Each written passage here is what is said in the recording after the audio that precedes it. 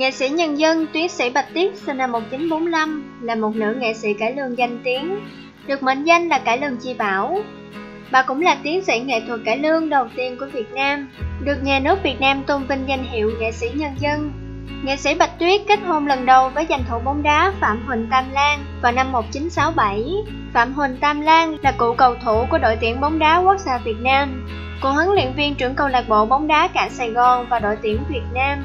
Cả hai gặp nhau lần đầu và tiếng sét ái tình đã nổi trong tim hai người. Đôi trai tài gái sắc kết hôn với nhau năm 1967, nhưng chỉ được 3 năm, cuộc tình đã phải anh đường anh, tôi đường tôi.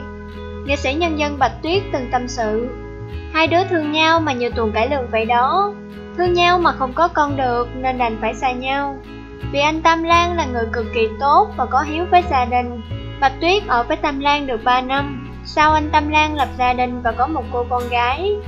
Hai đứa thương nhau lắm nhưng xa nhau chỉ vì hoàn cảnh thôi. Ông Phạm Huỳnh Tam Lan sinh ngày 14 tháng 2 năm 1942 tại tỉnh Gò Công và ông cũng đã qua đời vào năm 2014. Sau khi ly dị người chồng đầu tiên thì trong năm 1974 bà lập gia đình lần thứ hai với ông Charles Đức, một Việt kiều quốc tịch Pháp. Má bảy Phùng Há vẫn khen dài. Cậu ba Đức chẳng những không hề gây trở ngại cho vợ, là một đào hát thanh sắc vẹn toàn, đã và đang được rất nhiều người ái mộ, mà đã hỗ trợ chấp cánh thêm cho Bạch Tuyết phát triển trên con đường nghệ thuật. Đó là thái độ quý hiếm của một người chồng lấy vợ đào hát. Nghệ sĩ Bạch Tuyết chia sẻ, Tôi đến với người chồng sau như một sự tình cờ, có thể xem như chuyện đại gia với ngôi sao vậy.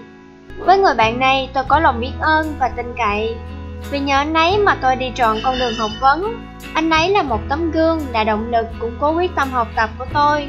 Sống với một người chồng tri thức đầy quá, vì anh ấy có hai bằng tiến sĩ, nếu mình thiếu thì cũng vừa thôi. Và bất ngờ hơn nữa là cuộc hôn nhân này đã sinh trái ngọt.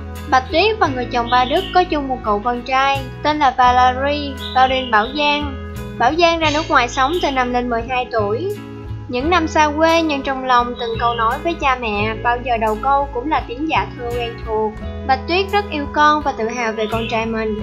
Nghệ sĩ nhân dân Bạch Tuyết hiện tại đã có ba cháu nội trai, và cảm thấy rất hạnh phúc Nghệ sĩ ưu tú Minh Phương cũng nói, chị Bạch Tuyết là một người nghệ sĩ có tâm huyết với sân khấu, luôn cầu tiến và luôn là tấm gương phấn đấu sáng ngời đối với con cháu trong gia đình. Năm nay cô đã hơn 70 tuổi nhưng vẫn còn được công chúng yêu mến, và nhất là khán giả ở thủ đô.